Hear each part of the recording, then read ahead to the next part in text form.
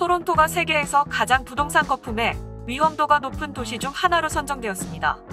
주택 시장을 장기적 관점으로 바라보며 글로벌 도시의 부동산 가격 거품 위험을 추적하기 위해 마련된 UBS 글로벌 부동산 버블 지수에 따르면 토론토는 25개 도시 중 2020년 지수에서 3위에 이름을 올렸습니다.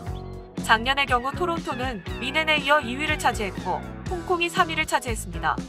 미넨은 올해에도 여전히 1위를 기록하였으며 프랑크푸르트가 2위를 차지해 토론토가 한 계단 떨어진 3위에 이름을 올리게 되었습니다.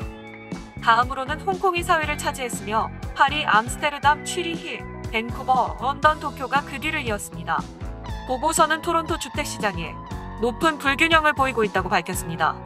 밴쿠버의 주택시장은 작년과 대조적으로 현재 스펙트럼에 과대평가된 범위에 있다며 런던, 샌프란시스코, 로스앤젤레스도 이와 같은 현상을 보이고 있다고 전했습니다. 보고서에 따르면 팬데믹에도 불구하고 주택시장은 2020년 상반기에 회복 상태를 유지하고 있습니다. 첫 번째 이유는 집값이 과거의 물가지표를 참조할 수밖에 없어 일정한 지연을 수반하는 경기 침체를 반영하고 있다는 점입니다. 두 번째 이유는 주택 구입 희망자의 대다수가 기업의 신용공여 제도나 단시간 노동제도에 의해 2020년 전반에 직접 소득 손실을 겪지 않았기 때문입니다. 세 번째 이유는 정부가 락다운 기간 다수의 도시에서 주택 소유자들을 지원해왔기 때문입니다. 보고서는 주택 보조금이 늘고 세금이 인하되었으며 압류 절차가 중단된다고 밝혔습니다.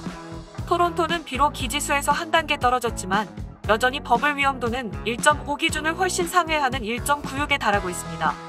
UBS CIO GWM의 스위스 부동산 담당 책임자인 마티아스 훌치이는 부동산 거품 위험에 처한 현재의 도시들은 코로나 바이러스 위기를 비교적 잘 넘긴 것 같다.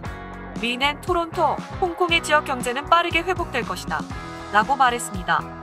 하지만 광범위한 시장 조정이 없는 상황에서 추가적인 자본 이득의 가능성은 고갈된 것으로 보인다며 특히 임대료율이 역대 최고치를 기록하고 있다는 점을 감안하면 매수에 대한 투자 전망은 좋지 않다.